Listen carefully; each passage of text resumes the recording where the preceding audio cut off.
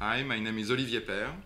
I am the artistic director of the Locarno Film Festival and I am obsessed by cinema.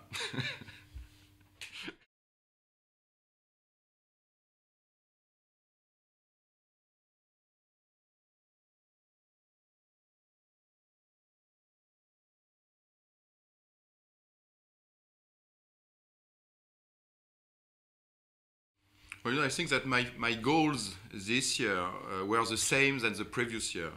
But sometimes uh, what you want and what you get are two different things in life. um, no, I, I, mean that to, to succeed this edition, which is, to my opinion, uh, very successful and uh, very faithful and uh, really fit with my expectation and uh, what we think, not only me, but what we think a, a great festival should be. Um, took, took time and uh, I think that we, we already worked hard last year to redefine, to, to have some new ideas, some new visions about Locarno.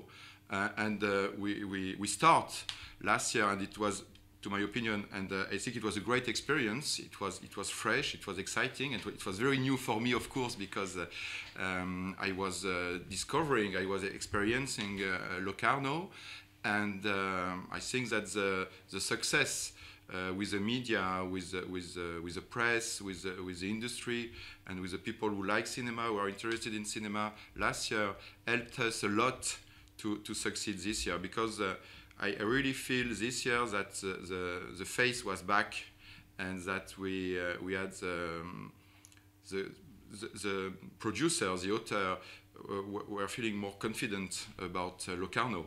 Uh, they understood that Locarno was an exciting place, was a useful place, was a place of devotion for cinema, for passion for cinema, for the author, for the new films, for the young filmmaker, but also for cinema in all these dimensions, from the genre film to the documentary, from the popular film for the large audience on the piazza and the most radical film experience. So it was very supportive. And uh, this year, of course, we work hard. Uh, we were also lucky because uh, the productions, the films this year were very good, very strong. We had plenty of choice. So we were able to uh, to make a festival with uh, strong content. I think that the international competition this year is very strong. We have very good first features, but also films by important uh, contemporary filmmakers. And we also work hard about the not the glamour, but the fact that we, we succeed to invite actors, filmmakers, producers, movie stars, uh, living legend of the history of cinema, they accept our invitation. So at the end, we have a very um, beautiful uh, cast, I would say, of, uh, of important actors, actresses, and but they are all there, or to uh, to receive an award, or to pay, to pay a tribute not only to themselves but uh, to the filmmakers they work with, like Leslie Caron for Vincente Minnelli or Gérard Depardieu for Maurice Pialat. That's the proof that these persons are mostly artists and uh, they, they had very important careers, they are very famous, but they are mostly uh, film passionate.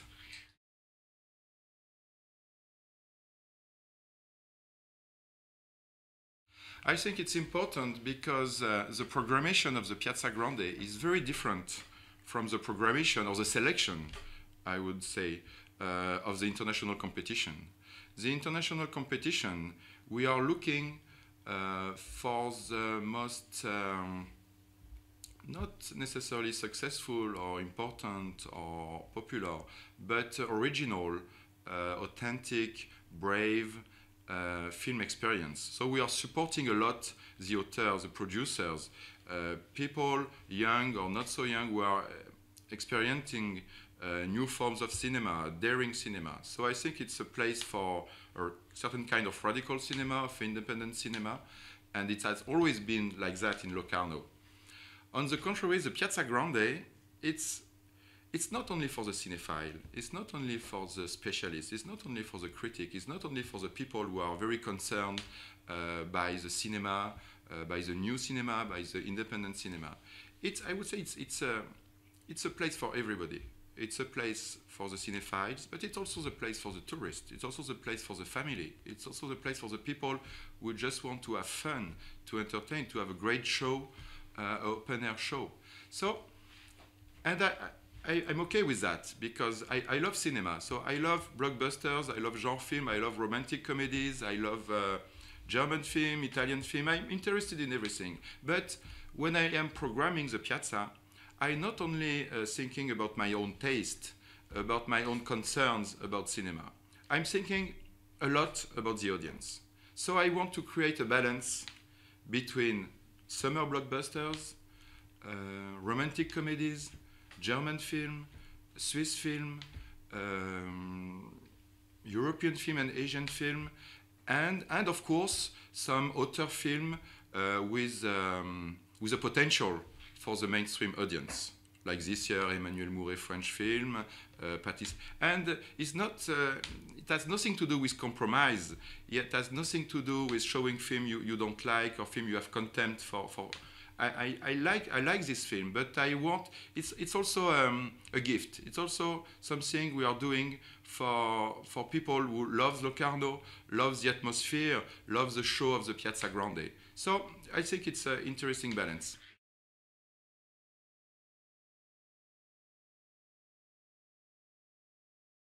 I think it's uh, the demonstration, the proof that uh, we don't have to have, we don't need to have complex to consider ourselves as a festival for specialists or a festival too serious or to a tourist or to uh, uh, dedicated to a certain kind of films or dedicated to a certain kind of audience. I don't want to people feel uh, rejected by the festival because they consider it's not for them because they are not cinephile enough and uh, I really want to open the festival to all the cinema and to all the audiences. And uh, I think Locarno is, is an important international film festival because it's uh, not, I don't care about being big or being huge, but I care about being uh, important, uh, useful, influential. I think that are the three uh, qualities of a film festival.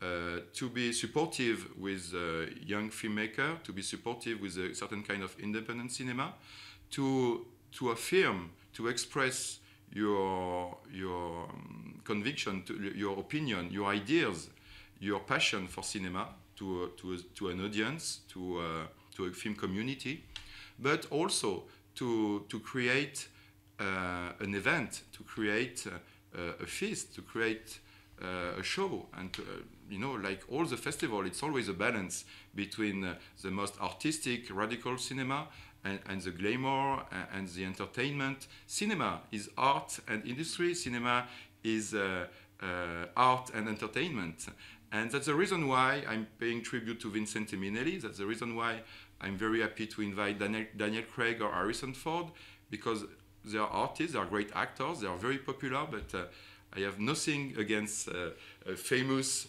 or talented or popular uh, movie stars. If they are talented, if I like them, if I, have respect and admiration for, for them, as for Harrison Ford, Daniel Craig, or Bruno Ganz, Gérard Depardieu, they really deserve it. It's not a coincidence. They are not famous uh, for nothing. so, uh, of course, they belong to the cinema. They belong sometimes to the history of cinema. And uh, so they, they are legitimate, completely legitimate in a festival like Locarno.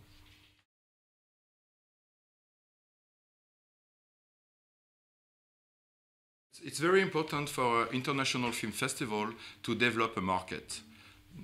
Of course, in Locarno, we can't make a huge market like in the biggest festival. We don't have uh, room enough and space enough. But uh, today, um, uh, art house film festival with only good film or with only tributes or homage, of course it's, it's great, but uh, it's not enough to, to bring the industry, to bring the distributors, to bring uh, the people who can be supportive with the film at the economical uh, and the commercial level. And uh, you know, a, a, film festival like Locarno, uh, with the competition, is always the first step of the discovery of the career artistic and commercial and critical career of a film. So to make a, a, festival useful, to make it exciting and to make it relevant, we need to have a good press, the good journalists, the good critics, the media, the TV, the radio, people who are talking and, uh, uh, about films. Uh, and but we need the industry as well. We need uh, producers, buyers, uh, distributors. We will we will pick up the films, discover the film in our festival. So it's important for Locarno to be a festival, as you say. It means with world international premiere. So in that way, people are more curious to come to Locarno to discover a film that will be screened for the first time or for the first time outside its own country, and to be able to, to buy it, to take it for, for theaters or to take it for DVD or, or even to take it for another festival because we are also inviting a lot of programmers, a lot of festival directors We will discover the film in Locarno and we will in invite it in their own festival.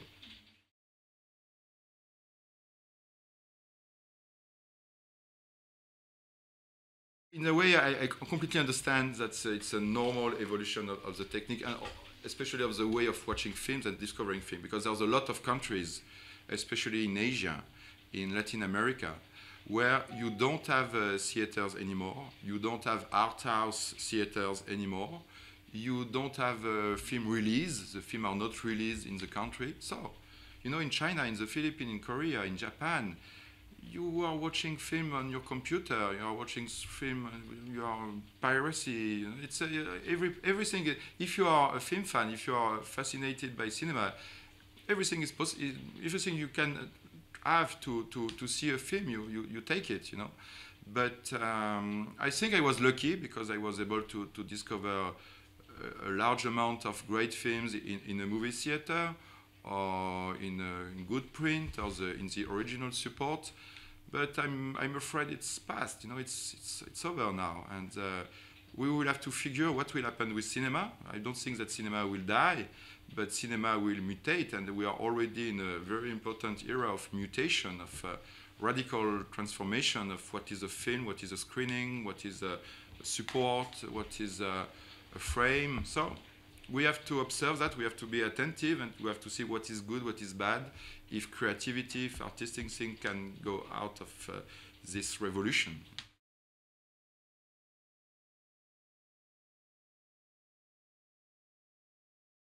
Yeah, sure.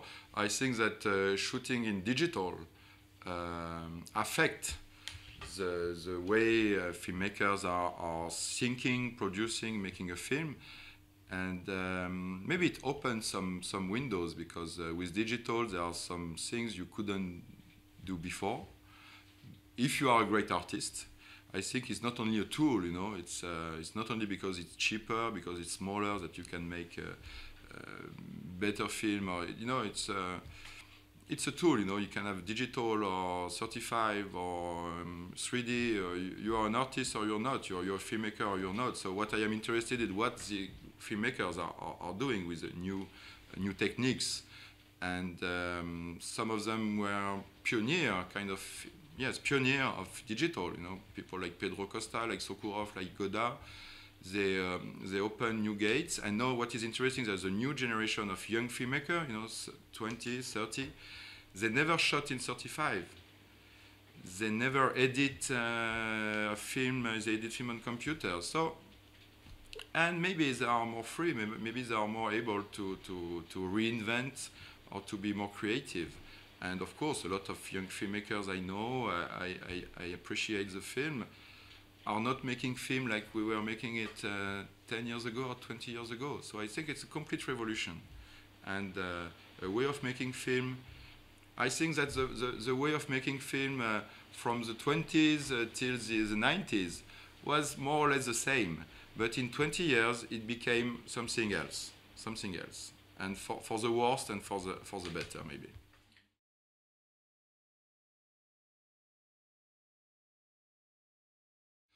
Well, you know, I, I tried, but I tried when I was uh, 12. So it's a little bit like in Super 8, you know, I was, uh, I was shooting Super 8 uh, horror features uh, with my friend but I didn't. Uh, I, I, don't say I can't consider that as making films or being a filmmaker. No, it was it was a disaster. It was it was a complete failure. Um, no, I think I um, I never consider myself as a, as a as a as a filmmaker. I had some kind of dreams, some kind of, of fantasies about movies. I was obsessed by movies uh, as a teenager. Uh, I became a cinephile. Uh, and I, at the beginning, I, I didn't know what to do with this cinephilia. It, it was a disease, it was a hobby, it, it was an obsession, it, it was good or bad.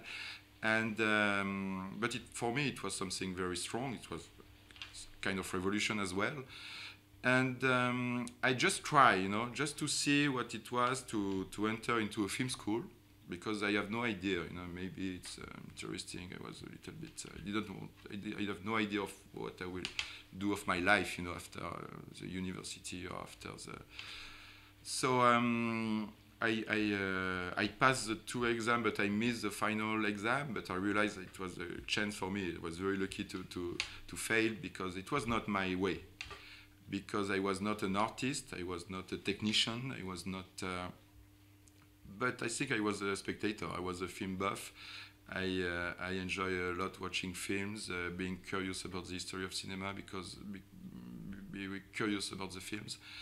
And I, I, found my way. I was very lucky to, to find my way thanks to the French Cinematheque because I went to Paris. I spent my night and days watching films. And um, the IMA as a programmer. And I, I realized finally uh, at 20 something, 25, that my way was to be a programmer, film programmer. Because I, I, I love to watch movies and I love to program movies and to share movies with an audience and to discover new movies and to, to be generous with that, not only selfish. And after that, I had the opportunity to be some kind of film critic, anyway, to write about film. So it, for me, it was, it was great. And finally, but it was a kind of uh, um, a way to, uh, to, to being an artistic director, to run the festival. Because if you can program film from the history of cinema mixed with new films, it, it's, it helps you to, to know more about film, to be a good uh, spectator, to, to have some clear, maybe wrong, but clear ideas about what is a good film and what is a bad film. So it helped me a lot to, to become an artistic director at the Quinzaine and now in Locarno.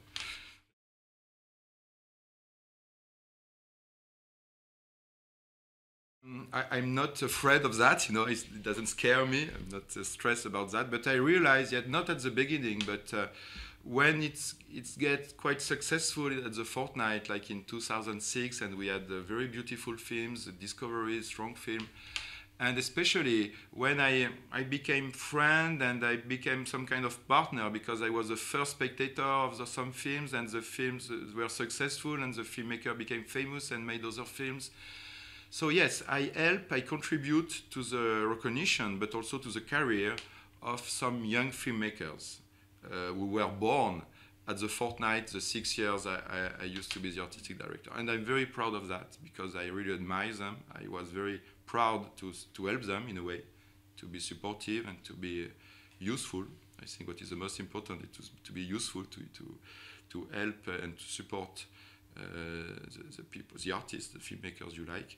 So yeah, yeah, but you know, it's a little bit too early to know if I had a very important contribution to film history. You know, maybe in 40 years, or we will see if uh, uh, some great master of cinema, like uh, today, I don't know, uh, Godard or Sokurov or uh, um, Kiarostami, were born at the fortnight or in Locarno between 2004 and 2000 something.